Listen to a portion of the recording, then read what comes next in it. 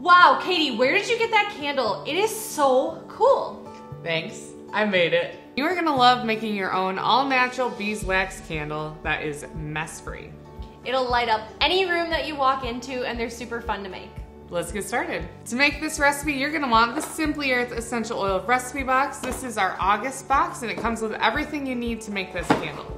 We'll pull out our labels and recipe card. And from your extras, you're gonna wanna grab your wick and one of your beeswax sheets. For this recipe, we're going to be using peppermint and blood orange essential oils. And from your home, a cotton ball and some rubber gloves. Let's get started. For the first step, we're gonna drop our essential oils onto this cotton ball and then we're gonna rub it all over the beeswax sheet.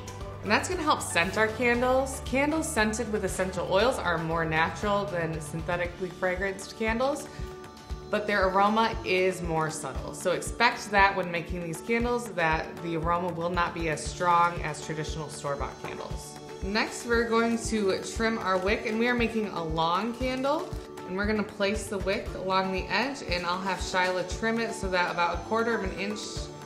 And then we're going to grab this and this is, I'm gonna pinch the wax over the wick and this is where I recommend putting on gloves because essential oils are irritating to the skin and when it comes into contact with the oil that we put on the wax, it can be irritating.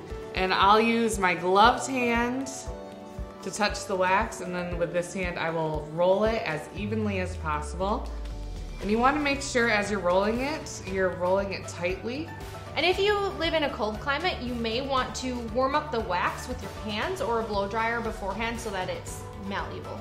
So now I'm using the heat from my hands to seal the beeswax sheet to itself. So I'm going to fold over the bottom of the wick and now we have a beautiful candle. To use, you'll want to put it in a candle holder and sometimes you need to push the candle down into it to make it more secure and then burn within sight away from kids and pets. Oh, check them out.